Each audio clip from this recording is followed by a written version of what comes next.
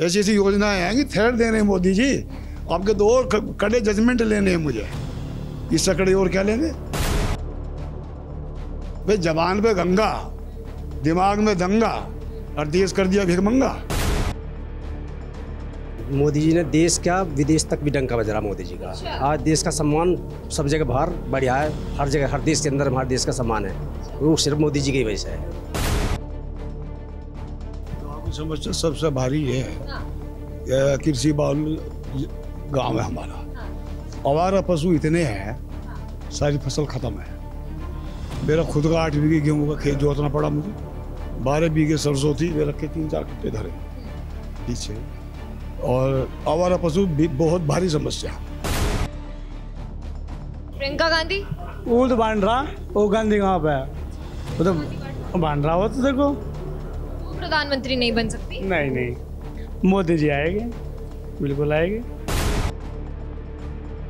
कृषि प्रधान गाँव है और किसान विरोधी सरकार रही है।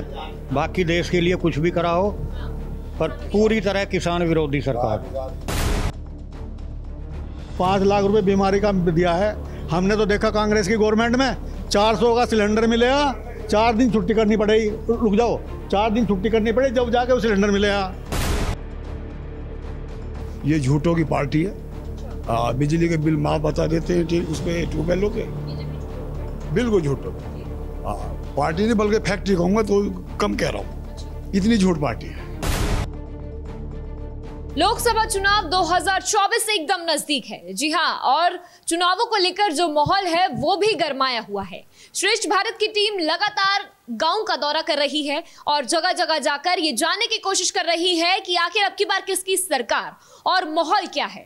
हम लोग इस वक्त मुरादनगर के सरना गाँव में मौजूद हैं, जहाँ पर आप ये तमाम लोग मेरे साथ इस वक्त देख सकते हैं। हम लोग इनसे जानने की कोशिश करेंगे आज कि आखिर चुनावों को देखते हुए माहौल क्या है।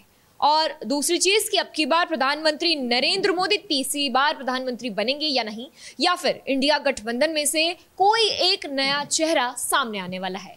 और इनमें, इनके गाँव में आखिर समस्या क्या क्या है, उस पर भी हम लोग बातचीत करेंगे, क्योंकि ये भी ज़रूरी है कि पिछले पाँच साल में सरकार ने इनके लिए क्या काम करा है, इनके गाँव में क्या क्या काम करा है, विकास हुआ भी है या नहीं हुआ है। चलिए, सबसे पहले आपसे बात करते हैं। अब की बार आपको क्या लग रहा है? अब की बार ये है कि मोदी जी जीतेंगे और प्रधानमंत्री बनेंगे तीसरी बार। हाँ। क्या काम करा ऐसा जो अब की बार तीसरी बार वो प्रधानमंत्री बनेंगे? बाबा इतने फ़ेमस हैं इंडिया के अंदर कि उनसे अलग कोई किसी को दिखाई देता ही ना। हाँ मोदी से अलग कोई दिखाई देता किसी को भी। मतलब यह है कि प्रत्याशी कोई हो लेकिन वोट मोदी की है कमल की और इससे दूसरी किसी की नहीं है। टक्कर में कोई नहीं है? टक्कर में कोई नहीं उनके सामने। राहुल गांधी? कोई नहीं। उसे कुछ भी ना कंगा भी ना। कैसा भी नहीं हो तो। मायावती हैं टक्कर में? कुछ नहीं कोई नहीं है। हाँ। चलिए मुझे आप ये बताइए गाँव की समस्या क्या है? गाँव की समस्या सबसे भारी ये है। हाँ, कृषि बाहुल गाँव है हमारा। हाँ, आवारा पशु इतने हैं हाँ।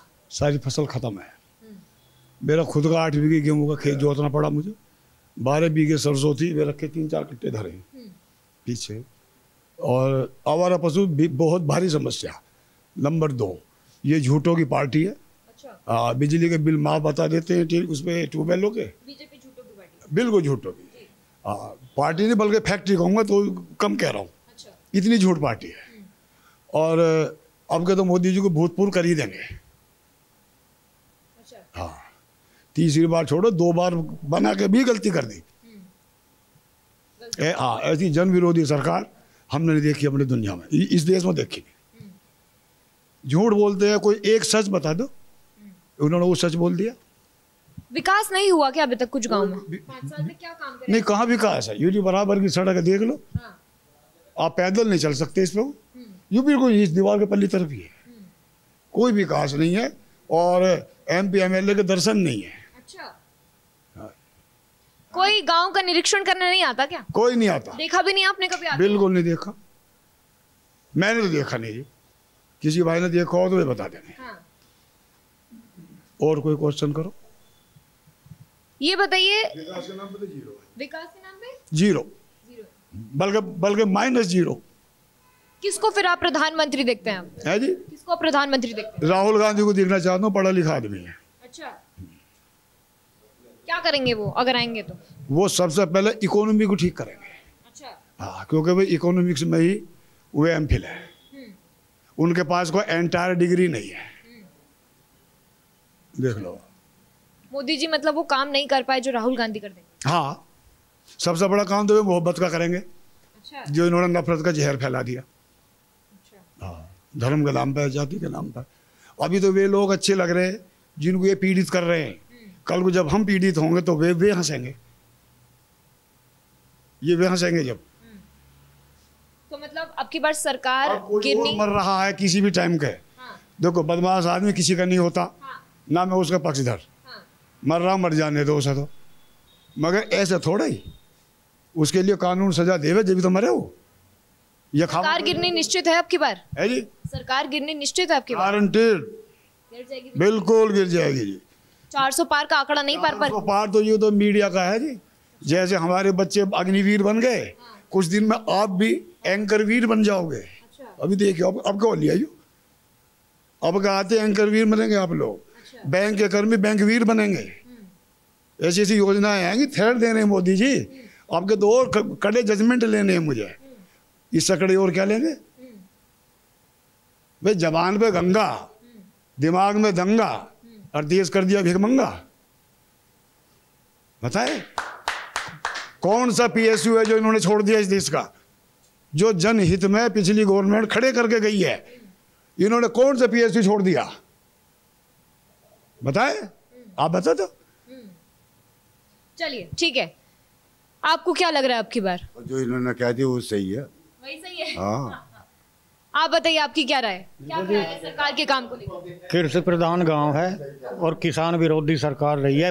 बाकी देश के लिए कुछ भी करा हो पर पूरी तरह किसान विरोधी सरकार है। अरे कहा कर दिया? जीडीपी पे झूठ बोलते हैं यार। जो कुछ भी है मीडिया के ज़रिए प्रदर्शित हो रहा है। ये मीडिया में चार सौ आ रही है वो सीट इनकी कहाँ से आ जाएँगी? मैं दावा कर रहा हूँ नियर अबाउट टू हंड्रेड थोड़ा थोड़ा बहुत कम या ज़्यादा बस। अभी लिख लेना मेरे शब्द ये। और यहाँ से किसानों के हित में कुछ नहीं हुआ किसान विरोधी सरकार है। मजदूर तक मिलना बंद हो ठीक है ठीक है ठीक है सर एक मिनट। अरे ढाई किलो अनाज पे दुनिया का ध्यान बांट दिया इन लोगों ने। ढाई किलो अनाज पे बांट दिया। ढाई किलो मोदी तो खुद ले लेना। जो दस लाख का फेशियल कराते हैं चेहरे पर बताइए अस्सी हज़ार की मशरूम खाते हैं ये कैसे फकीर है? कैसा फकीर है प्रधानमंत्री है साढ़े आठ हज़ार करोड़ के जहाज़ में चलते हैं। केवल दो लाख करोड़ अगर माफ़ कर दे तो कृषि क्षेत्र के तमाम किसान कर्ज मुक्त हो जाएँगे और दस लाख आपको क्या लग रहा है आपकी बार माहौल क्या है? माहौल तो मैडम विपक्ष की सरकार में तो कोई प्रतिनिधि है नहीं कि प्रधानमंत्री बनने लायक। सही है ना? तो अगर विपक्ष में कोई प्रधानमंत्री नेता बनने के लायक है नहीं तो इधर मोदी जी हैं ही। और इन्होंने भी गाय का मुद्दा सही बताया कि गाय जो पशुओं का मुद्दा है उससे भी किसानों नाराज़ हैं। अब देखना यह है कि चुनाव का प्रतिनिधि कौन करता है?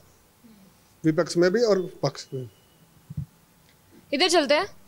इधर आइए। अखिलेश यादव टक्कर दे पाएँगे क्या? दूर दूर तक भी हाँ मैडम। नहीं है। कहीं तक भी नहीं। तो फिर अब की बार प्रधानमंत्री पद पर किसको देखते हैं? मोदी। मोदी हाँ। क्या काम करा है ऐसा पाँच सालों में? अरे काम बढ़िया करें गलती क्या करा उस बेचारे ने? किसके लिए कर रहा है? उसके कौन सा है कुछ? वो तो देश के लिए कर रहा है। इतने हाईवे बना दिए इतने वो बना दिए इतने एयरपोर्ट खोल दिए। हैं? अरे मैं कह रहा हूँ फ्री में दे रहा है लोन दे रहा है घर घर मकान बनवा दिए। सरना में साठ सत्तर अस्सी का सौ मकान बन गया अभी? पाँच लाख रुपए बीमारी का दिया है। हमने तो देखा कांग्रेस की गवर्नमेंट में, चार सौ का सिलेंडर मिलेगा, चार दिन छुट्टी करनी पड़ेगी। रुक जाओ, चार दिन छुट्टी करनी पड़ेगी, जब जाके वो सिलेंडर मिलेगा। और वो भी चार दिन छुट्टी का मतलब हो गया सोलह सौ रुपये का सिलेंडर, कि चार सौ रुपये की छुट्टी भी तो करी हमने। दो महीने पहले बुक कराना पड़ेगा, जब इक्कीस दिन बाद वो मिलेगा बुक होने के बाद। हैं? और अब अब घर जा रहा जी, जरा सी कर दो एक मिनट में ही, घर देखा, आगा ले दिए। तो बहुत सारी चीज़ हुई। मैडम, इसमें दो राय वाली बात नहीं है, काम बहुत बढ़िया करें। इतने बढ़िया शब्द कोई नहीं कर सकता। राहुल गांधी। अरे दूर दो तक मिनट मैडम। राहुल को हटा दो सोनिया को हटा दो प्रियंका को ले आओ जीत जाएगी। अच्छा प्रियंका गांधी कुछ करके दिखाएँगी? अरे बिल्कुल दिखाएगी उन्हें पता ही ना ना कुछ। वो बोल रहे क्या है पर क्या है क्या रहा है पता कुछ नहीं उसको। उससे तो बढ़िया अनपढ़ आदमी करे पढ़ा लिखा तो है वो। पर अनपढ़ आदमी ज़्यादा बढ़िया करता है उसके लिए काम। वो पढ़ा लिखा भी अनपढ़ है। हमारे यहीं पास में एक लड़का है एम एस सी थोड़ा फ़र्स्ट क्लास है। बोलता बदतमीजी से है तो उसका क्या पढ़ा लिखा बेकार है? सब जाना है उसे भैया को श्री ओम त्यागी खिमाती वाला। ठीक है ठीक है। सर क्या ख्याल है सरकार के काम को लेकर? सरकार के काम से हम खुश हैं कोई दिक्कत नहीं है। सिर्फ़ थोड़ी सी पीड़त ये है लोगों को किसान लोगों को हम लोगों को कि थोड़ा जानवर की वजह से ही परेशान है। जो फ़सल बोई जाती है वो सब खत्म हो जाती है। बाकी और कोई दिक्कत नहीं है मोदी से। मोदी बेस्ट।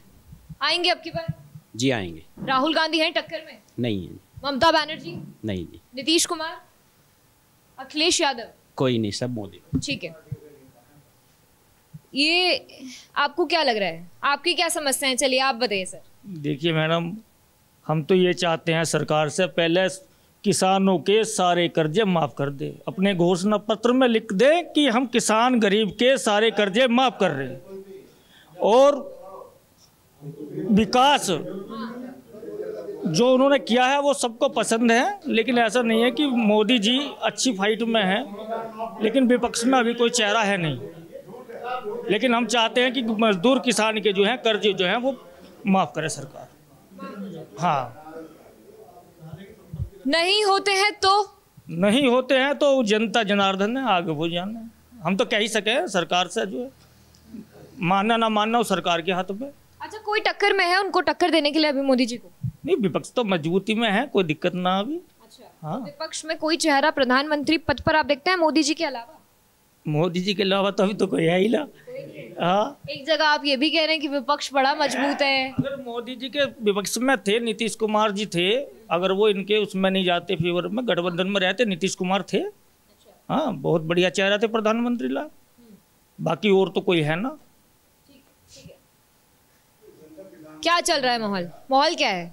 किसको वोट डालेंगे? बीजेपी को डालेंगे जी। बीजेपी को क्यों डालेंगे? क्या काम करा है ऐसा? आप जिस जगह बैठे हैं वहाँ पे बीजेपी विरोधी बहुत लोग हैं। आप बताइए क्या क्या लग रहा है आपको आपकी बात बहुत बढ़िया बीजेपी जो कर रही है बहुत बढ़िया कर रही है। देखिए आप मेरे जाते ही तुरंत चले जाइएगा नहीं तो दिक्कत फिर समस्या ज़्यादा हो जाएगी। नहीं नहीं हम सब साथ हैं बिल्कुल बीजेपी के। विक्ट्री बहुत बढ़िया। 400 पार कर पाएगी? हाँ बहुत। कैसे करेगी? क्या ख्याल है? करेगी कैसे? सब युवाओं के दिल में बसी हुई है बीजेपी। सब युवाओं के दिल में। तो चलिए यही बता दें कि युवाओं के दिल में अगर बसी हुई है तो युवाओं के लिए क्या काम करा है बीजेपी? युवाओं के लिए बहुत बढ़िया रोज़गार की व्यवस्था करी है कोई दिक्कत नहीं है कहीं भी। ये सब कहते रहते हैं जो विपक्ष वाले कि रोज़गार नहीं है सब बढ़िया हो रहा है। बस मैडम यही कहना चाहते हैं बीजेपी। आए क्या ख्याल है? क्या सोचते हैं? बीजेपी आएगी। हाँ। मोदी जी ने देश का विदेश तक भी डंका बजा मोदी जी का। आज देश का सम्मान सब जगह बाहर बढ़िया है हर जगह हर देश के अंदर हमारे देश का सम्मान है। वो सिर्फ़ मोदी जी की वजह से है। राहुल गांधी आएँगे टक्कर उनका तो कोई सिस्टम नहीं है। नहीं? प्रियंका गांधी को बुला नहीं प्रियंका गांधी जो अगर होती तो उनसे टक्कर देती थी लेकिन वो तो राहुल है तो राहुल के अंदर नहीं आ सकता मामला। नहीं आने मोदी जी ने सब सारे देश का विदेश तक भी डंका बजा सम्मान कर रखा पूरे देश के अंदर। और सीमा चारों तरफ़ से सुरक्षित आज हमारे देश की। हमारा देश सुरक्षित है सब तरफ़ से। देश अंदर से भी सुरक्षित है योगी जी की वजह से और बाहर मोदी जी की वजह से सुरक्षित है। तो इसलिए मोदी जी फ़र्स्ट। आपका क्या मेरे ख्याल में तो मोदी जी आएँगे। जी। क्यों आएँगे? गाँव का विकास करा उन्होंने? गाँव का और पूरे देश का विकास किया है ऐसी बात नहीं है नहीं किया। कोई पर्सनल मैटर पे अपने समझता हो तो वो अलग बात है कि व्यक्तिगत बेस पे विरोध करे तो पार्टी का करे वरना कोई कमी नहीं है। हाँ विरोध की कोई बात नहीं है वैसे। राहुल गांधी आएँगे टक्कर में? पप्पू है वो तो।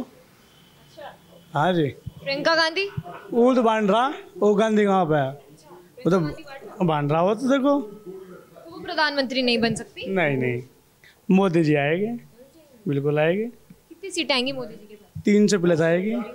जी आएगी। बोल तो रहे चार सौ प्लस लाएँगे। नहीं नहीं तीन से प्लस आएगी। आज हमने बोल दिया तीन से प्लस आएगी।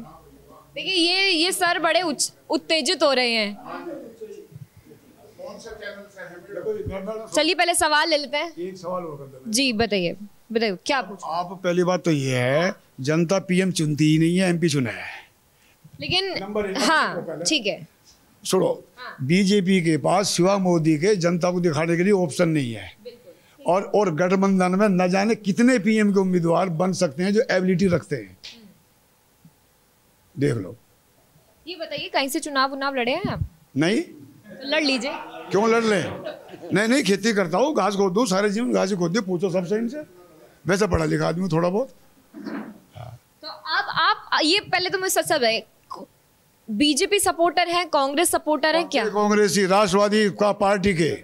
अभी सुनो पक्के कांग्रेसी और सुनो अट्ठारह सौ पिचासी से कांग्रेसी जब से कांग्रेस की नींव पड़ी है। और बताओ। हम लोग मुरादनगर के सराना गाँव में मौजूद थे जहाँ पर लोकसभा चुनावों को लेकर हमने लोगों से बातचीत करने की कोशिश की। और माहौल क्या है ये आपने देख ही लिया होगा। कैमरा पर्सन अजीत सिंह के साथ आरज़ू दुबे श्रेष्ठ भारत मुरादनगर। श्रेष्ठ भारत पर खबरों से जुड़े रहने के लिए चैनल को सब्सक्राइब करें, बेल आइकन दबाएँ और देखते रहें श्रेष्ठ भारत।